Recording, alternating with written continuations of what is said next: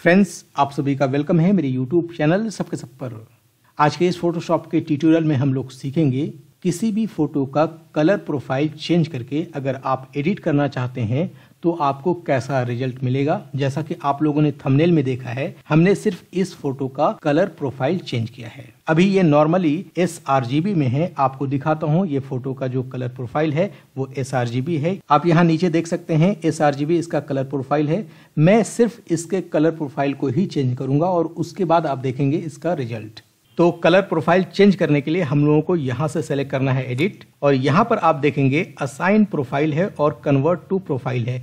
दो चीज़ें हैं, यहाँ पर आपको सेलेक्ट करना है असाइन प्रोफ़ाइल जब आप असाइन प्रोफ़ाइल सेलेक्ट करेंगे तो देखिए यहाँ सेलेक्टेड है वर्किंग आरजीबी और इसके अंदर जो कलर प्रोफ़ाइल है वो है एसआरजीबी और लास्ट टाइम हमने जो यूज़ किया था वो ई एस यूज़ किया था। अगर आप इसको सेलेक्ट कर लेते हैं तो इसका रिज़ल्ट ये आता है। और अगर आप यहाँ से ओके कर लेते हैं तो ये चेंज हो जाता है एसआरजीबी से ई एस में।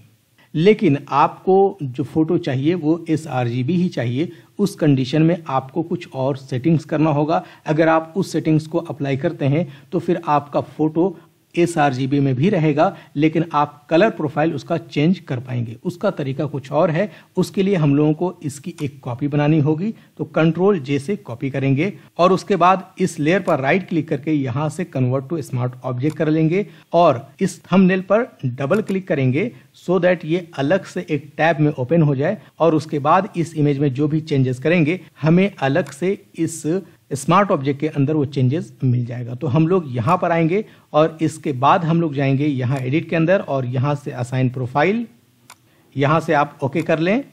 और उसके बाद यहाँ से कलर प्रोफ़ाइल चेंज करें। अगर आप इस पर क्लिक करके देखेंगे तो आपके इस सिस्टम में बहुत सारे कलर प्रोफ़ाइल होंगे। आप किसी को भी सिलेक्ट कर सकते हैं जो आपको बेहतर लगे। आप इस पर क्लिक करेंगे और ड्रॉप डाउन से नीचे आएँगे तो आपको बहुत सारे कलर्स यहाँ पर मिलता चला जाएगा। जो भी आपको बेहतर लगे उसको आप यूज़ कर सकते हैं इस तरह से। लेकिन मुझे फ़िलहाल एक कलर सेलेक्ट करना है तो उसके लिए हमने ई एस आर जी भी सिलेक्ट करके रखा था। इसी को हमने दोबारा सेलेक्ट किया और उसके बाद यहाँ से ओके कर लेते हैं। अब हम लोगों को यहाँ से सिर्फ़ इस फ़ाइल को सेव करना है, इस पर क्लिक करेंगे। तो हमारे ओरिजिनल डॉक्यूमेंट में ये चेंज हो जाएगा, आप देख सकते हैं, ये चेंज हो गया है। और नीचे अगर आप इसके डॉक्यूमेंट में चेक करेंगे तो ये एस ही है, इसमें चेंजेस नहीं हुआ है। तो अब कलर प्रोफ़ाइल चेंज करने के बाद जो हमारे पास लुक है, वो ये है, आप देख सकते हैं, बिफोर एंड आफ्टर। अब इसमें अगर आपको लगता है कि बहुत ही ज़्यादा अप्लाई हुआ है, इसको कम करना चाहते हैं, स्मूथ करना चाहते हैं तो आप इस लेयर पर डबल क्लिक करेंगे। लेयर स्टाइल के अंदर आएँगे और यहाँ पर आपको ये जो नीचे अंडरलाइंग लेयर है, इसको यूज़ करना चाहिए। तो आप इस स्लाइडर को क्लिक करके राइट की तरफ़ लेकर जाएँगे और ऑल्ट प्रेस करके इसको ब्रेक कर देंगे।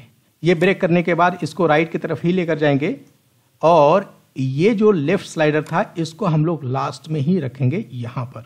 अब आप इस स्लाइडर को एडजस्ट कर सकते हैं, जहाँ पर आपको लग रहा है परफेक्ट है। ये देखिए, यहाँ पर ठीक है, अब हम लोग ओके कर लेते हैं। अब आप देखें बिफोर आफ्टर तो ये है before and after before and after तो जब भी आप फ़ोटो एडिटिंग करें तो आप कलर प्रोफ़ाइल को भी एक बार चेक कर लिया करें। अगर आपको लगता है कोई लैंडस्केप इमेज है या कोई भी इस तरह की इमेजेस हैं तो उसको एक बार कलर प्रोफ़ाइल चेंज करके ज़रूर देख लिया करें। और अगर आप चाहते हैं कलर प्रोफ़ाइल के बारे में अच्छे से सीखना या फोटोशॉप को अच्छे से जानना चाहते हैं, फ़ोटो एडिटिंग सीखना चाहते हैं तो मेरे प्रीमियम क्लास जो ऑनलाइन पर अवेलेबल है, आप उसको ज़रूर ज्वाइन कर लीजिए। ज्वाइन करने के लिए मैंने कॉन्टैक्ट नंबर और ईमेल आईडी डिस्क्रिप्शन में दे दिया है। आप जब चाहे मुझे कॉल करके ज्वाइन कर सकते हैं। और किसी तरह का कुछ कन्फ्यूज़न है तो कमेंट बॉक्स में पूछिए, उसका सोल्यूशन ज़रूर लेकर आऊँगा। तो फ्रेंड्स मिलते हैं नेक्स्ट वीडियो में, तब तक के लिए बहुत बहुत शुक्रिया। Thank you so much friends